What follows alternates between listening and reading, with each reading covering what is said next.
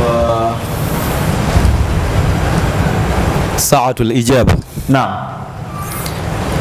hii tumesema kwamba kuanzia saa kumi na moja kasorobo Hapana, Eh. saatul ijaba inaanza ni baada ya alasiri. baada ya alasiri Eh, yani ile nimeweka kutokana na zile mishemishe zetu mm -hmm. sawa. Inawezekana unaweza ukatoka nje kidogo, halafu saa kumi na moja kasorobo ukatawadha. Kama udhu nao sawa, ukiingia ndani uje usali tahiyatul masjid. Lakini kama udhu huna, nenda kasali katawadha. Ukishatawadha uje upate rakaa mbili za udhu.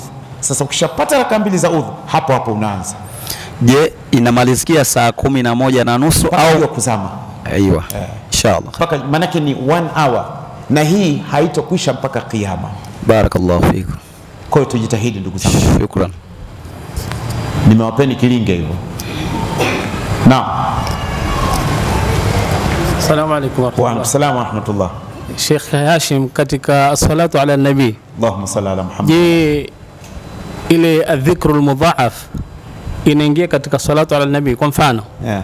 ukasema Allahumma salli ala Muhammadin adada khalqika wa ridha nafsika wa zinata arshika wa midada kalimatik, inawezekana hiyo?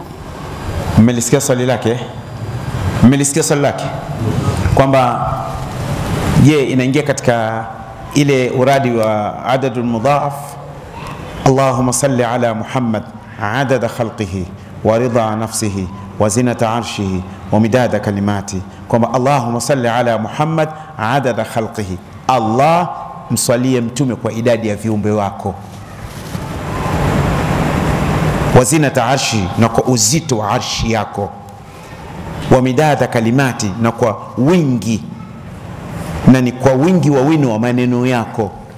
Je, kuna baadhi ya wanachuoni katika zile yani sigha ya salatu ala nabii wameziingiza hizo, sawa. Kwa hiyo kama unataka fadhila kubwa zaidi unaweza ukafanya namna hii, lakini subhanallahi wa bihamdihi adada khalqihi wa ridha nafsihi wa zinata arshihi wa midada kalimati. Siku moja Mtume sala wasallam alikuwa yupo kwenye zamu ya mama Juwairia mkewe.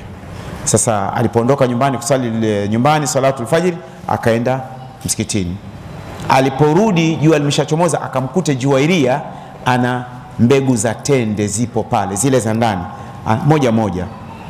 Anavuta tasbihi.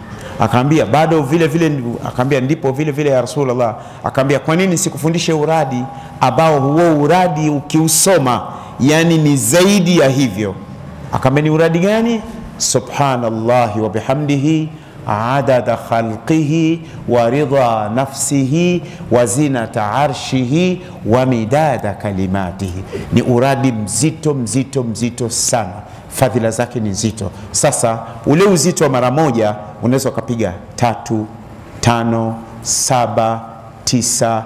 Almuhimu wewe ni kuongeza salio lako kwa Mwenyezi Mungu Subhanahu wa Ta'ala, unaweza ukaongeza humo. Umenielewa ان شاء الله صدق نعم